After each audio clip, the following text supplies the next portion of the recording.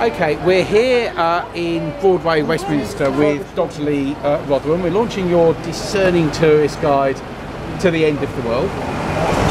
Now, it's very appropriate we should be here actually, uh, because as you mentioned, there are a couple of plague pits not very far from here. Um, and, and, disease ha has on occasion had a devastating effect uh, on the human race. Um, I think it gets a mention in your book. Where, where do you see maybe disease and plague going?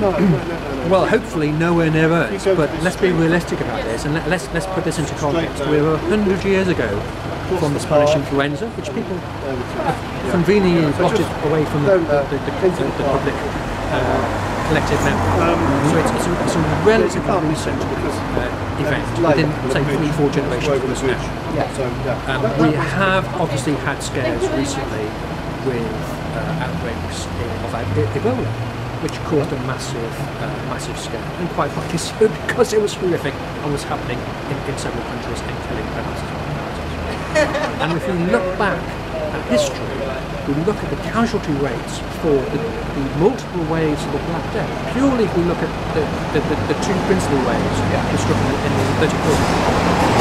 Now the first wave, which was a, a much simpler version, and then it went airborne, the second wave. And as a result of that, you had fatality rates uh, ranging from, well, depending if you were lucky, uh, lower, but it, somewhere between potentially a quarter and a third of the population died. Wow. Which is why you have these plague pits. And the ones around here aren't even from that period. The ones around here are from the 17th century plague oh, pits. Really? The ones oh, which so just they're predated the, the, big Black Death. Exactly, no. Um, they're the ones that predated the, the, the Great Fire of It's a recurring problem um, which obviously science has, has, been able to mitigate because we've got to, we've got to the bottom of what, what is the actual uh, the, the, the, cause of the, symptoms of vaccine. But there are so many other uh, possibilities that nature, particularly given the high turnaround lifespan of these viruses and are potentially out there so I put it in there merely so to remind us not to get complacent. Yeah, yeah. I'm not saying, you know, if you start sneezing tomorrow, you know, we're all we're all doomed.